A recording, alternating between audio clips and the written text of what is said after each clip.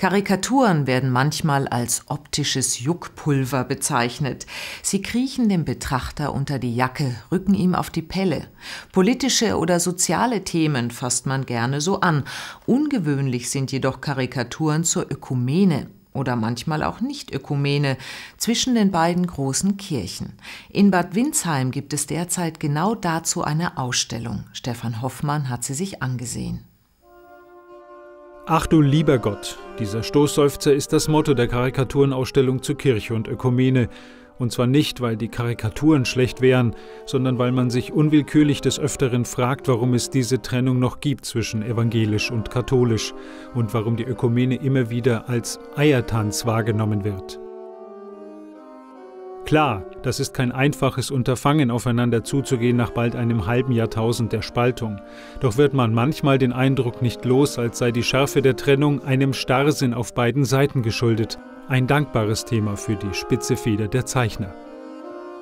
Vielleicht nehmen wir es viel zu ernst. Und dann ist es doch ein gutes Mittel, auch nochmal anders an das Thema ranzugehen, es etwas humorvoller zu betrachten, etwas lockerer zu nehmen und vielleicht bricht dann auch so manche Verkrampftheit, die in dem Thema ja auch drin ist, auf.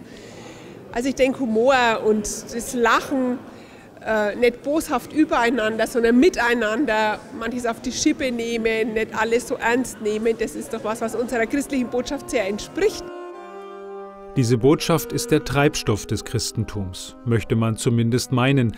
Allerdings findet der Gründer nicht immer Gehör, was damit zusammenhängen könnte, dass manche derer, die ihn verkündigen sollen, lieber sich selbst in den Mittelpunkt rücken. Um das zu begründen, so der Verdacht der Karikaturisten, grenzt man sich hochtheologisch voneinander ab. Mit allerdings offenbar überschaubarem Erfolg. Ich glaube, die Leute nehmen das nicht mehr wahr. Wir haben einige Karikaturen hier, wo sich die Funktionäre streiten und das Kirchenvolk dieses schon längst überholt hat. Also die Leute unterscheiden da nicht mehr zwischen evangelischer Kirche oder katholischer Kirche, sondern sie sehen Kirche als Ganzes und die Karikaturen bringen das, diese Spannung äh, einfach zum Vorschein.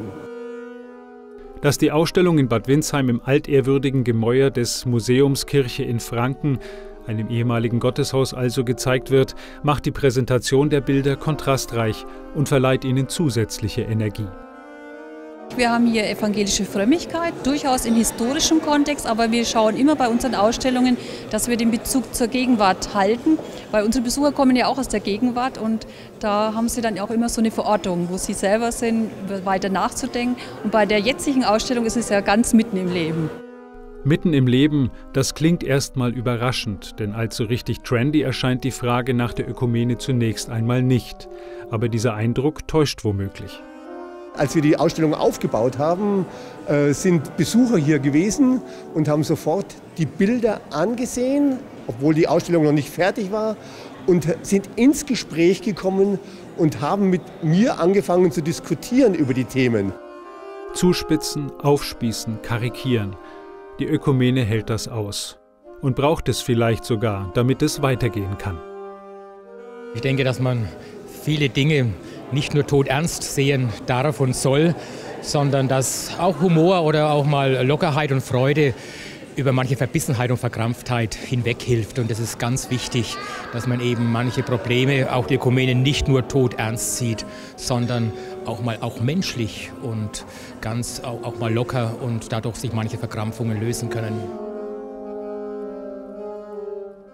Die Ausstellung Ach du lieber Gott ist bis zum 20. Juli im Museum Kirche in Franken in Bad Windsheim zu sehen.